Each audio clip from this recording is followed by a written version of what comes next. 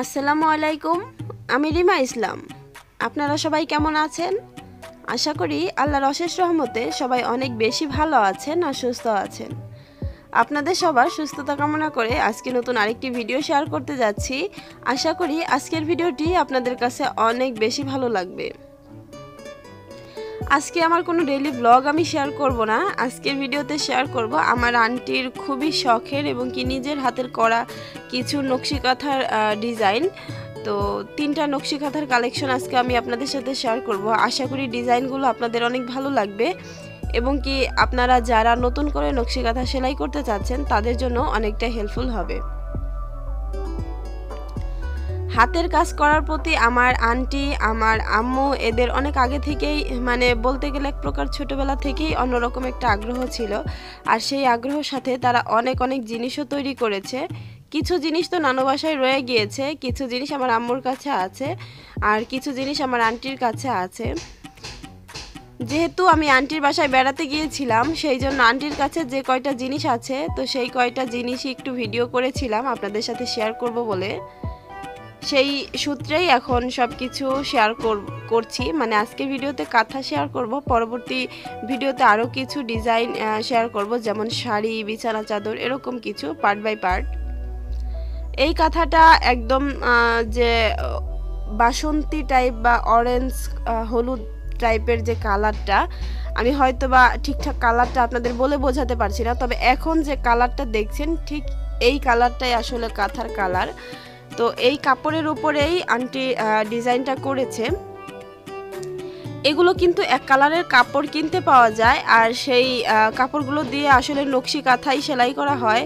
তো সেই কাপড়গুলো দুইটা কাপড় কিনলেই কিন্তু এপাশে আর ও পাশে হয়ে যায়। তো সেই রকম কাপড় কিনেই দুই পাশে দুইটা কাপড় দিয়েছে আর মাঝখানে একটা শুধু অন্য কাপড় দিয়েছে। মানে আমার নানুর ইউজ করা রেগুলারের যে কাপড় সেগুলো দিয়েছে। তারপর নিজের ইচ্ছা মতো ডিজাইন করে সেই কাঁথাগুলো সেলাই করেছে। আগের যে কাঁথাটা দেখলেন, ওই কাঁথাটা হলো কয়েল দিয়ে ডিজাইন করেছিল।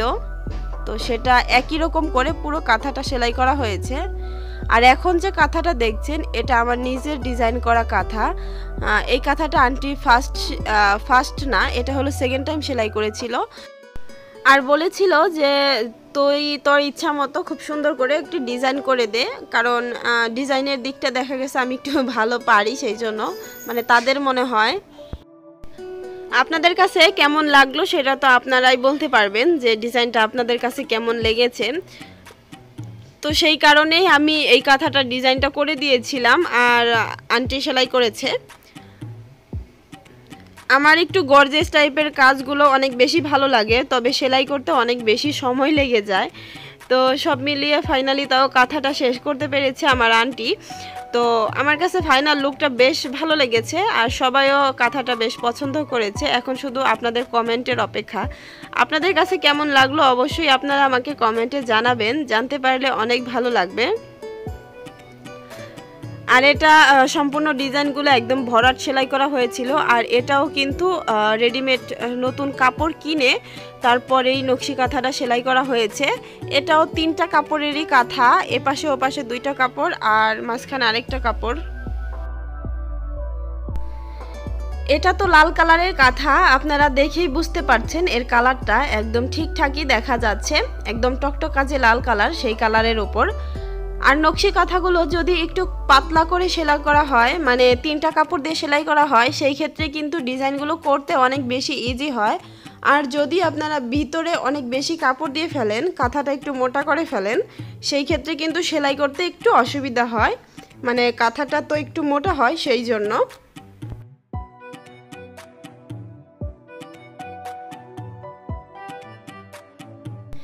এই কথাটা হলো আমার আন্টির একদম ফার্স্ট টাইম করা, আর প্রথমে যে কাঁথাটা দেখেছি ওটা হলো তৃতীয় নাম্বার কাঁথা।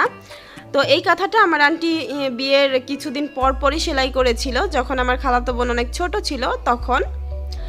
আর এটা হলো আগের দিনে বিয়েতে যে গায়ে হলুদের কাপড়গুলো দেওয়া হতো বউদের, তো সেই হলুদ কাপড়, আর এটা যেহেতু এক কালারই ছিল, আর পাড়টা লাল কালার ছিল, তো সেই জন্যই এই কাঁথাটা মানে এই কাপড়টা দিয়ে কাঁথাটা সেলাই করে নিয়েছিল। তখন কিন্তু আর কাপড় কিনে করছিল না মানে এটা দিয়েই করেছিল, আর নিচে আরেকটা এক কালারের কাপড় দিয়েছিল। সেটা সম্ভবত নীল কালারের কাপড়, নিচ পাশে, আর এ পাশে হলো হলুদ কালারের। এটা কিন্তু খুবই সিম্পলের ভিতরে ডিজাইনটা করেছিল, খুবই সহজ ডিজাইনগুলো। তারপরেও কিন্তু এতটা সুন্দর হয়েছে কাঁথা, যেটা বলার মতো না। মানে সিম্পলের ভিতরেও অনেক বেশি অসাধারণ।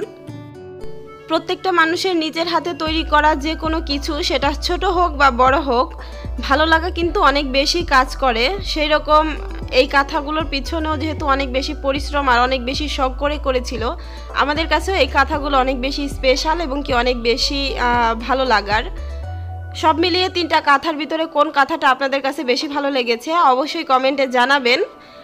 আর আজকের ভিডিওটা এখানেই শেষ করব। যারা শেষ পর্যন্ত দেখেছেন, তাদেরকে অসংখ্য ধন্যবাদ। সবাই ভালো থাকবেন, সুস্থ থাকবেন। আল্লাহ হাফেজ। আসসালামু আলাইকুম।